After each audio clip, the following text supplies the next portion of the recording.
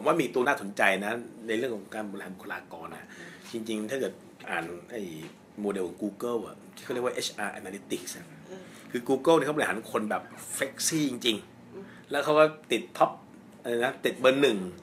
เอ่อ employer of choice มากี่ปีไม่รู้ไอ้ Google เนี่ยเงินก็จ่ายดีแล้วก็โคตรจะเฟกซี่มากอยากทำอะไรก็ทำแต่ตัวอยู่ไปเลยคือติดเอาหิ้วลูกมาทำงานก็ไม่ว่ามีห้องให้อีกอย่างนี้เลยนะ Google ในขนาดนี้นะโอ้โหมัน พลิสคนสุดๆ แต่ว่างานต้องเสร็จนะ งานต้องเสร็จไอเดียต้องมี Google เนี่ยเป็นตัวอย่างที่ผมว่ามันมาครบด้วยทั้ง flexi ทั้ง talent flexible ทั้ง content workforce มันมาครบหมดเลย Google เนี่ย และที่สำคัญคือเอ่อเขาเขาเป็นบริษัทที่เป็นทำเทคโนโลยีไงค่ะเขาเป็นผู้นำเพราะฉะนั้นไอเดียมันต้องมันต้องมาก่อน ลักษณะอย่างเงี้ยต้องทำ full time บางคนเนี่ยไอสมองมันแล่นตอนกลางคืนนะทำไมทำไมเขาทำกลางวันนะ จริงว่าแล้วยิ่งเขา work different time zone เขามีหลายประเทศด้วยอะไรเนี่ยทำไมต้องทำไมอะบางคนแล้วบางคนเนี่ยต้องติดต่อกับฝั่งเอเชียเนี่ย ตอนนี้มันตีหนึ่งของอเมริกาเนี่ยแล้วถึงนี่มันบ่ายโมงบ้านเราไม่ทำไงอะใครจะไม่ตื่นขึ้นมาก็มันก็ไม่ใช่จริงไหมมันก็ต้องมันก็ต้องเพราะฉะนั้นไอ้เรื่องไอ้คอนเซ็ปต์เรื่องเฟกซี่ของเนี้ยมันมาตั้งนานแล้ว แต่สิ่งที่ Google ดังมากคือเรื่องของ data analytics เขาความที่เขาเป็นเอ่อเป็นเขาเรียกว่าเป็นเป็น ผู้ชำนาญในเรื่องของไอทีเทคโนโลยีอยู่แล้ว ผู้นำเนี่ยเทคโนโลยีเนี่ยเขาก็เก็บรวบรวมข้อมูลที่มันมีอยู่เยอะไปหมดเนี่ย แต่เขาเก่งเขาสามารถทำให้มันจัดมาเป็นรูปแบบที่เป็นเป็นเป็นสตรัคเจอร์หรือเป็นออกมาในเชิงวิเคราะห์ ให้เห็นว่าเฮ้ยพฤติกรรมของคนของของพนักงาน Google เนี่ยมีอาจจะเป็นทำ survey ก็ดีค่ะอาจจะเป็นเรื่องของเอ่อเอ่อไอ้ไอ้ไอ้ survey เรื่องความพึงพอใจอะไรเงี้ยนะสมมุตินะฮะแล้วก็ ผลงานของพนักงานอะไรอย่างเงี้ยนะบางกลุ่มบางบางระดับบางประเทศอะไรอย่างเงี้ย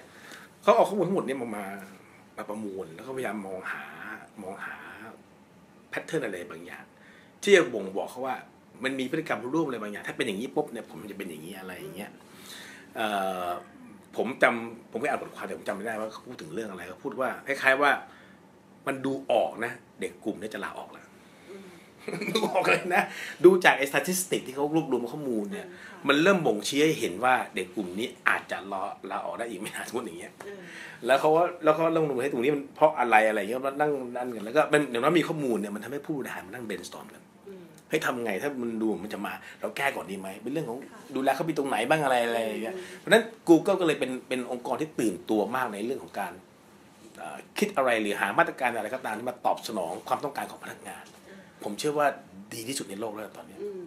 คิดแทนพนักงานคิดรู้แม้กระทั่งว่าต้องการพนักงานต้องการอะไรอะล่วงหน้าอะไรประมาณอย่างเงี้ยอืมจากข้อมูลที่เขารวบรวมจากสถิติที่เขา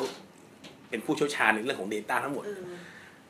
พี่ท่านผมไป Google อ่านอ่านคำว่า HR Analytics ของ Google ดูค่ะโอ้โหผมว่า สุดยอดใช่ไหมคะแล้วตอนนี้จะเป็นโมเดลที่ที่ที่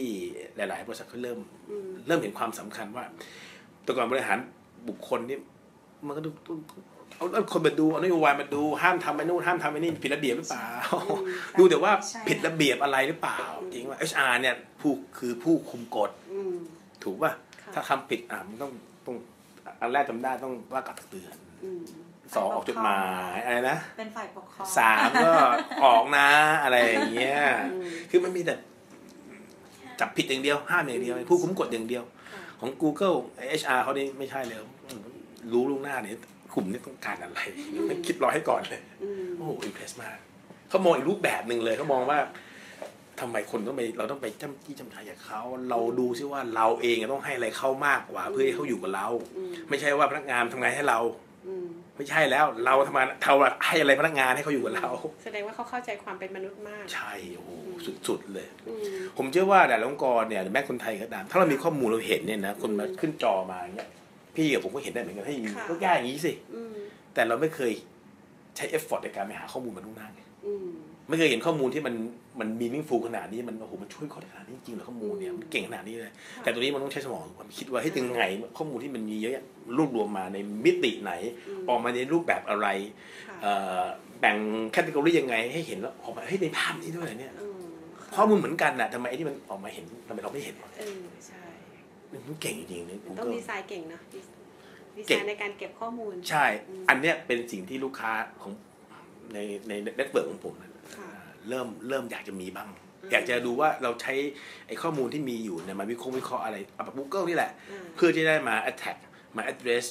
ประเด็นความเป็นห่วงในเรื่องของของการบริหารคน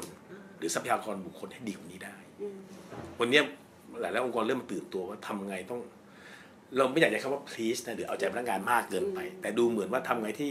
ให้ความพึงพอใจของพนักงานเนี่ยถ้าเรา maintain ได้อย่างเงี้ยผมว่าโอกาสที่เขาอยู่กับเราได้นานก็มีมากกว่า ถ้าเราไม่ดูเรื่องความพึงพอใจไม่เคยเช็คเลยว่าเช็คเช็คตลอดดูว่าให้ตัวที่คำพึงพอใจของพนักงานเป็นไงวันนี้โอเคไม่โอเคอยู่เนี่ยนะเอ่อเราก็จะไม่รู้ว่าวันหนึ่ง turnover จะเป็นยังไงไงอืมไอ้ถึงถึงบอกไอ้ไอ้ survey หรือไอ้ทำทำผลสำรวจเรื่องวัดความพึงพอใจ engagement index เนี่ยคือสำคัญเราก็มี ตัว global people survey เราก็มีอยู่ใช่เราก็มีเรามีทำทุกทุกปีค่ะหลายๆองค์กรเนี่ยเริ่มมีแล้วแต่ถามว่าไอ้แค่วัดพึงความพึงพอใจอย่างเดียวนั้น มันมันให้ข้อมูลเพียงพอไหมเราแค่ดูเสร็จเออแล้วไงต่อดีวะเนี่ยอืมแต่ในผลสำรวจก็ยังบอกว่า ไม่พอใจเรื่องอะไร พอใจเรื่องอะไรอะไรเงี้ยเป็นแบบนั้นอย่างเห็นเห็นแล้วก็เห็นอยู่อะไรเงี้ยอืมก็อันก็ภาพใหญ่ๆอะไรเงี้ยค่ะแต่มันยังยังไม่ได้บ่งชี้ให้เห็นมันเป็นเทรนด์ของ Google ขนาดที่ว่าไอ้เนี่ยอ่าพฤติกรรมใช่อ่าสัญญาณออกเป็นถึงพฤติกรรมเลยอะไรอย่างเงี้ยเออเป็นต้นอะผมว่าก็แต่เก่งค่ะ ผมเองก็ไม่ไม่รู้ดีเทลเป็นยังไง แต่ว่าอ่านเขาเข้ามาได้ประมาณอืมอยากรู้เหมือนกันว่าเขาจะทำอะไรได้บ้างอะไรอย่างเงี้ย